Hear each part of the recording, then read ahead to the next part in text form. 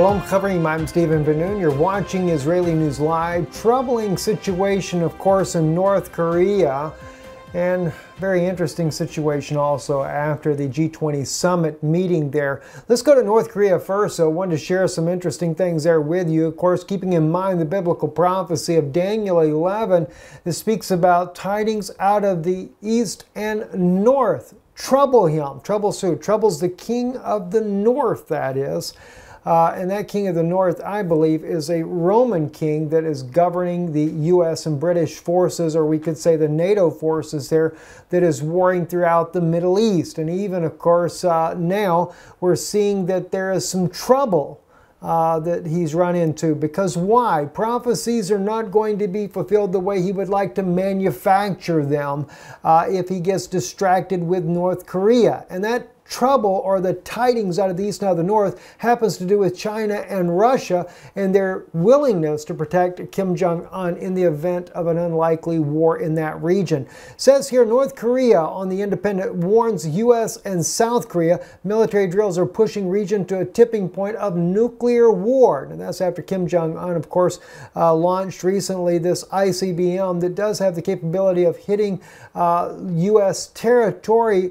Uh, without any question. And, uh, and of course, the U.S. and South Korea responded using live drills with the supersonic B 1 bombers and other aircraft uh, near North Korea's borders there, which has really kind of irritated North Korea. But of course, North Korea, what can you expect? They are kind of bringing it upon themselves by continuing testing these missiles. But here's the problem. Here's where the tidings come. This is where the problem is. As it states in this article right here on rokdrop.net, experts surprised by Chinese and Russian coordination on North Korean policy very thing that's interesting in this article happens to be the last part. Does say I can understand why anyone is I can't understand why anyone is surprised by the synchronization of China and Russia North Korea strategy. China and Russia have long had the common goal of weakening the United States uh, commitment to alliances in Northeast Asia. But watch the last part of the article right here. It says here, but some regional policy experts fear that a united Sino Russian front on North Korea could make it more difficult for the U.S. to rein in Pyongyang's uh, burgeoning nuclear program. The fact that Moscow and Beijing are using virtually identical language and are very united at this time, I think will provide great comfort to Kim Jong un, said David Pressman, a former U.S. ambassador to the United Nations for uh, political affairs who now works at the Boies Schiller Flexner law firm. So, yes, China and Russia, they still seem to be very much uh, working there with uh, North Korea. Uh, uh, Kim Jong un. And then, of course, Nikki Haley, she comes out and CNN covers this, but we're actually looking at Breitbart News on this. If China does not stop North Korea, we will start looking at trade relations with China. Seems like that the United States is backing off from the rhetoric of using force and even possibly nuclear force to stop North Korea. Why? Because it is a threat that China and Russia would go to war with the United States and something that President Trump does not want to happen, especially after the G20 summit there meeting with President Vladimir Putin that has been regarded by uh, many analysts already, including that of uh, Secretary of State Rex Tillerson and Foreign Minister Lavrov, said that they really kind of hit it off together. They had a, a, a you know, really working good together. Uh, in fact, President Putin said about President Trump that he was much different in person than he is on television, said that he was very businesslike, someone that he could work with. But you know, not everybody seems to like their relationship. And I, for one, did question this whole idea of the ceasefire in southwest Syria because, in my opinion, the ceasefire has really, it's not, not to say a ceasefire is not a good thing, but why only southwest Syria? Isn't it a little bit odd that the, where the United States wants a ceasefire with is the very places where the Syrian president, Bashar al Assad, was gaining headway against ISIS and Al Qaeda? Al Qaeda on Israel's border, close to the Golan at Quneitra, which is literally meters away from Israel's border, and as well as Daraa and Al Suwaid, Daraa, where uh, the Syrian government has been really hammering ISIS since they took over this little village there close to the Jordanian border. But of course, right across that border there, we have U.S. forces and British forces with a huge base not far inside the Jordanian territory there that is a threat for U.S. Uh, strategic moves there. But at the same time, the U.S. is, uh, was bringing out the other day, the U.S. Is, actually has a new 300 long meter air base that they have built right near Al Tanf oddly enough, with about five other mini bases all around this airfield there for protection. This 304 meter long airfield, according to our good friend Lorenzo at alreadyhappened.com, has also pointed out the fact that the F 35A can take off in 200 meters. Doesn't even need the full 304, but could take off and land in that short of a space. And on top of that, we're also looking at the fact that the F-35B, well, it can just take straight off like a helicopter, doesn't even need the actual runway. Some have argued that that airfield that was built there was actually done so for the sake of helicopters. Well, helicopters don't need 304 meter long airfield to take off in, and the U.S. is the one that has actually constructed this inside of Syrian territory against President Bashar al-Assad's wishes, no doubt. So the whole thing is, is what's going on? Of course, President Trump, President Putin said this has been going on for months now. They've been working this in the background.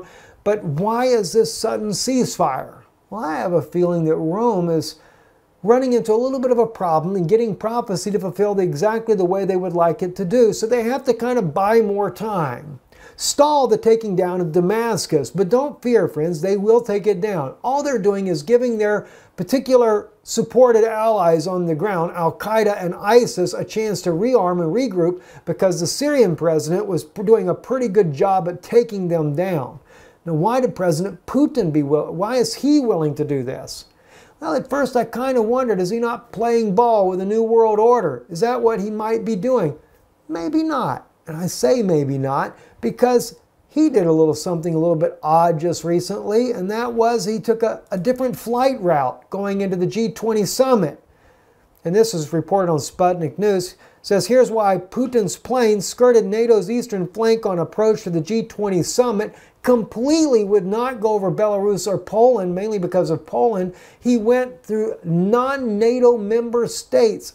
Well, as you can see out his window, there are all these ships that are there on the, on, on the Baltic Sea, but that could be Russian ships for all we know there as well.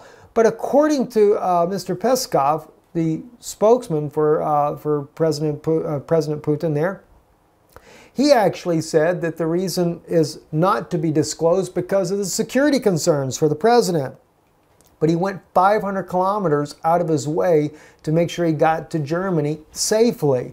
That lets us know that anywhere near Poland or Lat Lithuania or Latvia, any of these other areas there that are NATO allies there, he's concerned that he could get shot down, letting us know that President Putin doesn't fully trust NATO partners, even though he may have some trust with President Donald Trump. Well, he has good reason as is also pointed out in the article here, those of you that may remember, uh, not long ago, the Polish military F 16 flew dangerously close to Foreign Minister Lavrov's plane there, and that was with Russian escort Sukhoi fi uh, fighters as well. They had to chase the guy off. So if the president's flying over, I'm sure President Putin's concerned about becoming a target. So it kind of makes you wonder why did President Putin then be willing to do a ceasefire in Syria? Unless he's trying to buy time as well. Naturally, because President Putin doesn't want to go to a war with NATO. That is one huge beast. And he knows that the only avenue at that point is nuclear and not conventional. Because Russia would have too much on their hands in a conventional war with NATO's all these countries against one country, or at best with Iran and what is left of the Syrian military fighting as well. So that's where the trouble comes in. But now they met at the G20. President Putin, President Trump hit it off pretty good. President Trump questions directly President Putin, kind of like the old fashioned way of dealing with things. Did you do it or not? Face to face. President Putin says, No, I did not. Well, President Trump took him at his word. So they begin to try to build on something, try to build a more trusting relationship. Well, that kind of went south as well. Why? Because now President Trump and President Putin are discussing forming a cybersecurity unit to fight electioning hacking. Nobody seems to like that idea in Washington either. In fact, if anything, they're making fun of him for doing so. Let me give you a little bit of ideas of what's going on. Here at Face the Nation, here is uh, John McCain and what he had to say about it. Said Putin and I discussed forming an impenetrable cybersecurity unit so that election hacking and many other negative things will be guarded. What do you? I am sure that Vladimir Putin could be of enormous assistance in that effort since he's doing the hacking. I mean, it's it's. As you can see, John McCain kind of finds it very humorous, and it was no different uh, than what we've seen with also with Senator Lindsey Graham. Senator Lindsey Graham says.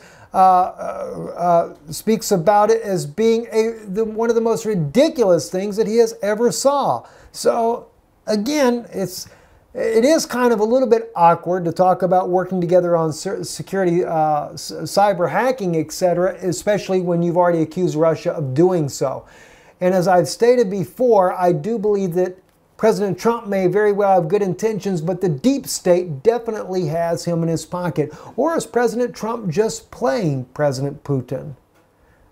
After all, he is very close to the Vatican. And the Vatican definitely is the one that is calling the shots on what's going on in the Middle East. We just have to sit back, watch how things play out, and see how it goes. But clearly, tidings out of the East and out of the North are troubling him. I'm Stephen Ben-Nun. You're watching Israeli News Live, Erev Tov.